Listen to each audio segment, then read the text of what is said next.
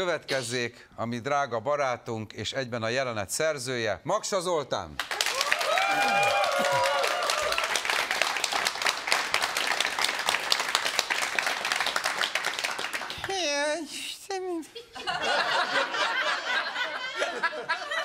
Jaj. Szegény Imre. Ide Sándor van írva. Akkor szegény Sándor. Hogy itt hagyott? Olyan hirtelen, el se tudom hinni. Hogy történt? Há, nem emlékszem. Szomorú eset, nagyon szomorú. Igen. Is csak vártuk haza a frontról, de nem jött. Jaj, de, jaj, de rettenetes. Csak másnap lekéste a busz. De akkor nem halt meg? Akkor nem, tíz perc múlva. Kisfiam bent játszott a lakásban, dobálta a szöges nyilakat a céltáblába. A céltábla meg a bejárati ajtó lógott. Férjem meg ugye kinyitotta, hogy bejöjjön.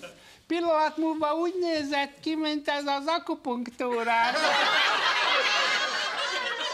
természetklinikán, benne is hagytuk az összeset, ettől meg egyre jobban lett. Hát igen, szép halála volt.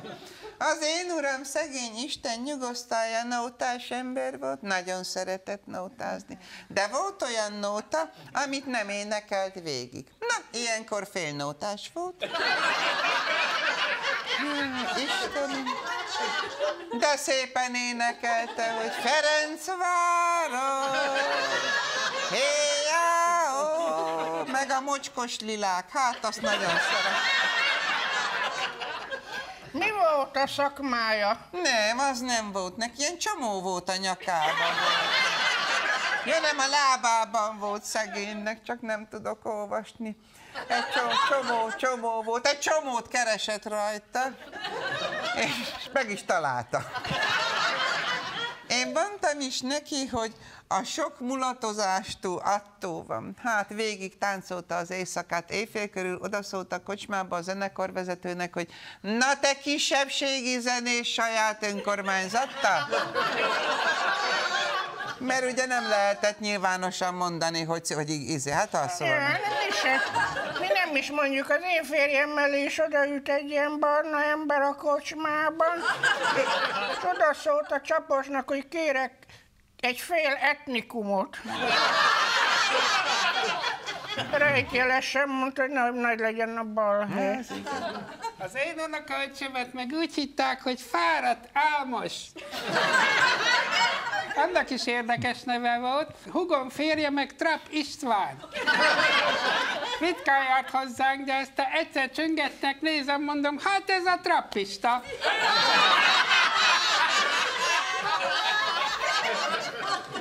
Buszvezető, aztán kormánykerékkel a fején nyit. Kérdezem, hát a busz hol van? Azt mondja, az árokban. Az én férjem meg Mohamed Al lett, amikor az ifával leborult kelet felé.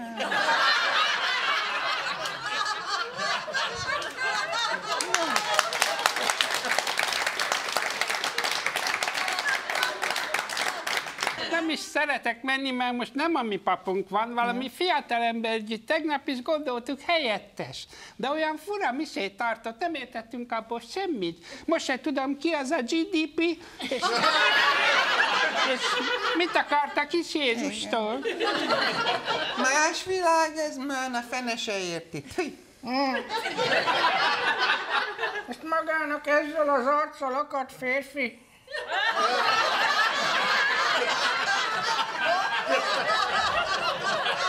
Rossz fele köptem az előbb a franc, aki megeszi. Hát miért ne akadt volna? Egy csinos szemrevaló 20 dioptriás lány volt. Nekem apa időben olyan szemüvegem volt, hogy ha a napfényben ránéztem valakire, kigyulladt mentem.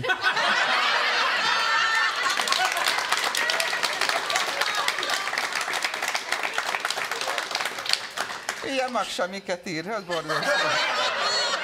Jó nagy hülye, az biztos. Szegény uramnak is volt szemüvege, de csak olvasáshoz használta, íráshoz nem. Mondja az írás, hogy minden szentnek maga felé hajlik a jó szóra. Hiába egyszer mindenki tellére vég. Szép temetése volt a karcsinak. Csak sokáig tartott az út a sírig, akkor a gödrök voltak az utam, hogy a karcsi kétszer is felült menet közben.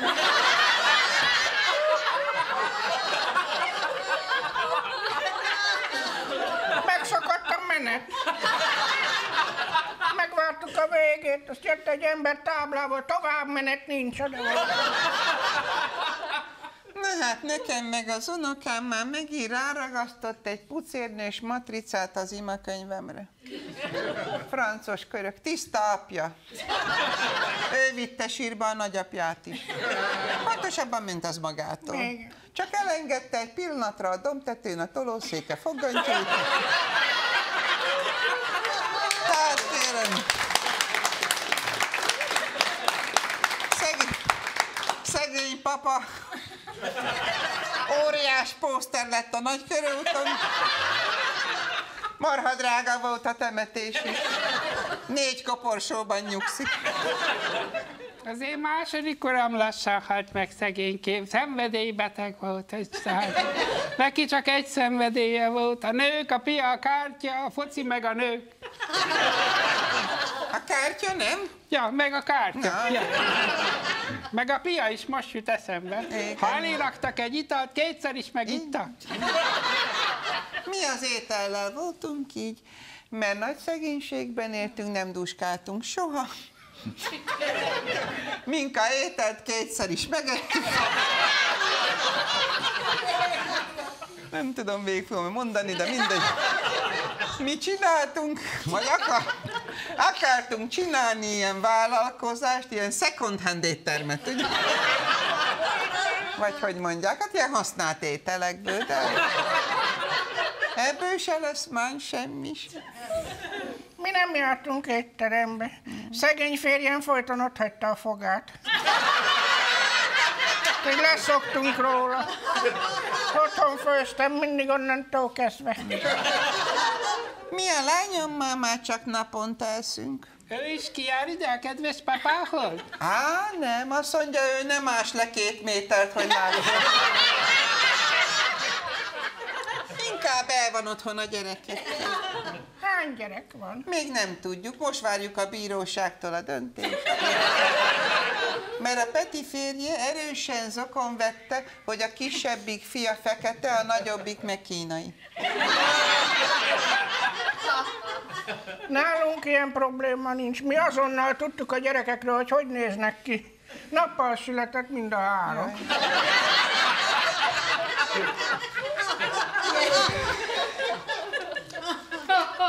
Ütettem ide a sírra egy kis mantkendert.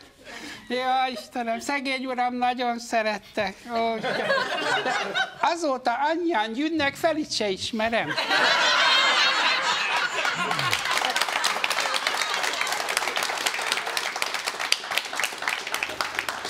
Én, én az én uramnak egyik felét se ismertem, mert nagyon zárkózott ember volt. Ráadásul betörését, úgyhogy nem sokat, nem sokat beszéltünk. A beszélő meg ott állt az az őr nem ment el, csak amikor kikísért igaz, akkor kétszer is. Lacikám tőle van. Ilyen. Szép ez a sír. Mennyi volt a fejfa? Ezt leértékelésem vettem. Ilyen Black Friday vagy mi van.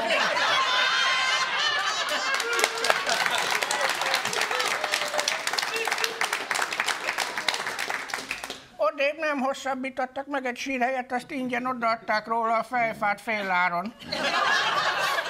Akkor már értem, hogy miért van a férje nevének az írva, hogy Kovács Gáborné Klárika.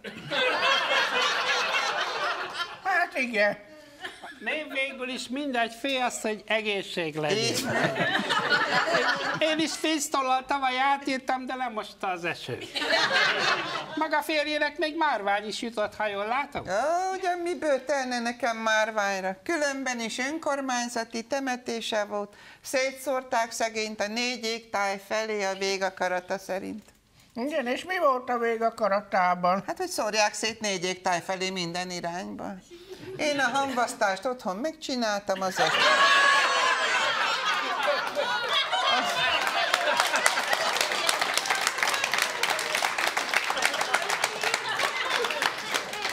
Azzal spóroltunk egy kicsit. Családbarát magazinba jó lett. Halottak napján kell adni, így mondom. Akkor fogják, akkor ne, hogy, na jó. Na, aztán szétszórtuk, na ez a lényeg az egésznek így. Az én férjem nem volt ilyen szétszórt. Nem? Pontosan tudta, hogy mit csinál, legalábbis ezt alapítottam meg a rendőrség. Az agyának teljes tudatában benne volt a férjem az agyának a tudata. Ott, ott, ott, ami nem voltunk olyan messzi sohasem. Innen. Nyaraltunk a szakszervezettel a Balatonnal, de onnan is előbb haza kell jönni, mert ugye, hát három hétre mentünk, de csak két hétre szólt a beutaló. Nem mentünk haza sehonnan. Megmondtam a férjemnek, hogy amíg én élek, te nem mész haza. Hogy aztán otthon hallgassa, hogy az anyja hüllőket kiabál rám, hogy is ne. Na, én ezért süketültem meg, hogy, hogy ne halljam az anyósomat. Ne, nem úsztam már meg, rámondta CD-re.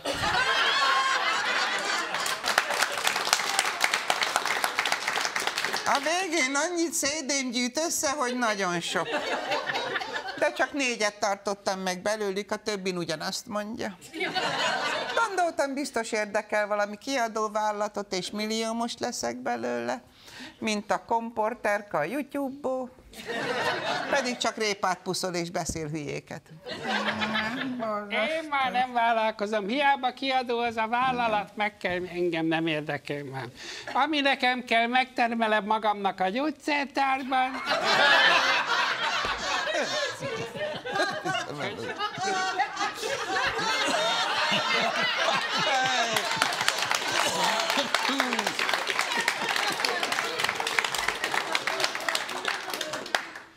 Jöjjenek most már a fiatalok.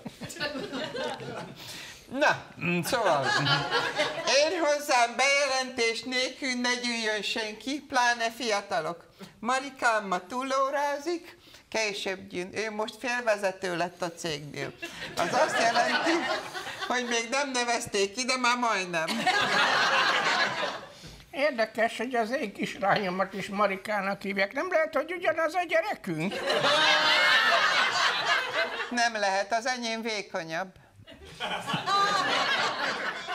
De jó, hogy így megismerkedtünk valamennyien. Igen, bizony, nagyon jó. Nem, most már mennem kell, mert nem sokára hazaér a fiam, a Laci, azt éhes lesz. Komoly gyerek, karanténbajnok. Megyek én is, mert odaég a ló, amit föltettem. Nem minden jó. Maga, maga fönn van a Facebookon? Nem, itt állok magam. De most megyek, ne viszlát. Jó, van viszontlátás. Mondja csak, megadjam magának a számomat? Hát kell a fenének, van nekem saját.